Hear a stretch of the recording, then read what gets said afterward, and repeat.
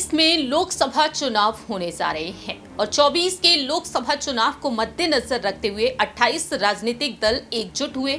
महागठबंधन किया जा चुका है। अब 24 में इंडिया वर्सेस एनडीए देखने को मिलेगा। लेकिन इसी बीच यहाँ पर सवाल खड़े होते हैं बहुजन समाज पार्टी की सुप्रीमो मायावती को लेकर। मायावती देखा जाए तो अब फ़िलहाल चुप्पी साधे हुए हैं, लेकिन उन्होंने स्थिति ये साफ़ कर दी अपनी पार्टी को लेकर कि वह किसी भी गठबंधन से नहीं जुड़ेंगी। वह अकेले अपने दम पर ही ये चुनाव लड़ेंगी, यानी कि उनकी पार्टी अकेले ही मैदान में उतरेगी। लेकिन इसी बीच देखा जाए, कुछ अहम दावे किए गए हैं मायावती की पार्टी को लेकर।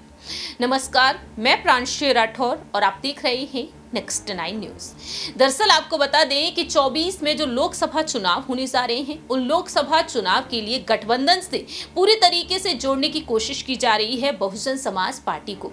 बीते कुछ दिनों पहले ही जिस तरह से माहौल गर्माता हुआ नज़र आया है, बीजेपी सांसद रमेश बिधुड़ी और बसपा सांसद दानिश अली के बीच जो आपत्तिजनक यहाँ पर टिप्पणी सुनने को मिली है, उसके चलते यहाँ पर देखने को मिला कि बहुजन समाज पार्टी को समर्थन मिल गया कांग्रेस का, जब राहुल गांधी दानिश अली से मुलाकात करने पहुँचे।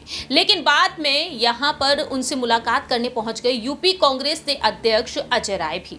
कई सियासी मुद्दों पर चर्चा हुई, अटकलें ये तक तेज हो चुकी है कि दानिश अली ही वो कड़ी हैं जो अब बसपा को गठबंधन से जोड़ सकते हैं। लेकिन इसी बीच देखा जाए तो अब बहुजन समाज पार्टी की सुप्रीमो मायावती को लेकर कुछ अलग और अहम दावे भी किए जा रहे हैं। जानकारी दे दें कि अब 24 के लोकसभा चुनाव को मद्देनजर रखते हुए बसपा की कुछ अलग ही रणनीतियाँ बनती हुई नज़र आ रही हैं। विपक्षी पार्टी के साथ मायावती हाथ मिलाना चाहती हैं तो उन्हें इस पर कोई ऐतराज नहीं है। मगर उनकी एक शर्त है, जो सूत्रों के मुताबिक दावे किए जा रहे हैं। विपक्षी गुट के पार्टी जेडीयू के नेता केसी त्यागी का कहना है कि अगर मायावती इंडिया गठबंधन को चुनती हैं तो उनका स्वागत किया जाएगा। लेकिन अगर वह कांग्रेस और सपा पर हमला करती रहेंगी तो वह इंडिया ब्लॉक का हिस्सा नहीं बन सकती। बहुजन समाज पार्टी आ, के अंदर इस बात का संशय संशय है कि मायावती आने वाले चुनाव में किस किनारे लगेंगी। फ़िलहाल देखा जाए यहाँ पर ये बातें भी निकलकर सामने आई हैं। एक नेता का कहना यहाँ पर साफ़ तौर पर रहा है। बसपा के ही नेता का कहना रहा है और बसपा अपने दम पर जीतने की स्थिति में नहीं हो सकती। लेकिन वह अन्य पार्टी को नुकसान पहुँचा सकती है। पार्टी के पास हर विधानसभा सीट पर कम से कम पंद्रह हज़ार वोट हैं। 2024 के विधानसभा चुनाव में बसपा ने अकेले चुनाव लड़ा तो उसके मुस्लिम उम्मीदवारों ने कई सीटों पर सपा के नेतृत्व वाले गठबंधन की संभावनाओं को नुकसान पहुँचाया, जहाँ पर भाजपा जीत हासिल कर गई।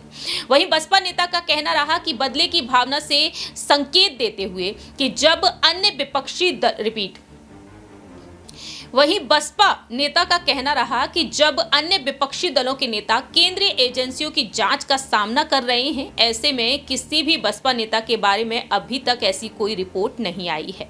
बसपा लंबे समय से केंद्र में भाजपा सरकार का मौन समर्थन करती रही है और हाल ही में महिला आरक्षण विधेयक को लेकर भी मायावती ने अपनी बात रखी। ऐसे में देखा जाए तो यहाँ पर ये तमाम यहाँ पर बातें सामने आती हैं और अब यहाँ पर मायावती पर अगर रुख किया जाए तो विपक्षी गठबंधन मायावती के कदमों पर सावधानी से नज़र रख रहे हैं। इंडिया गुट का कहना है कि बसपा प्रमुख ने कभी भी मोर्चे का हिस्सा बनने की कोई इच्छा व्यक्त नहीं की।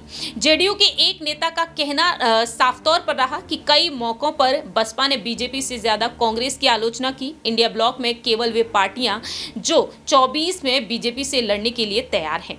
तो फ़िलहाल देखा जाए, मायावती यहाँ पर इस मामले पर चुप्पी साधी हुई है। लेकिन क्या 24 से पहले मायावती यहाँ पर एनडीए से जुड़ती हुई नज़र आएँगी या फिर इंडिया गठबंधन से वह जुड़ती हुई देखी जाएँगी? क्योंकि इस गठबंधन में समाजवादी पार्टी भी है और समाजवादी पार्टी से उनका छत्तीस का आंकड़ा देखने को मिलता है। तो ऐसे में देखा जाए, इस गठबंधन से जुड़ना इतना आसान नहीं हो सकता। अब देखते हैं कि मायावती का अगला अहम फैसला इस मामले में क्या कुछ होता है। इस खास रिपोर्ट में इतना ही। बाकी तमाम अपडेट्स के लिए देखते रहिए नेक्स्ट नाइन न्यूज़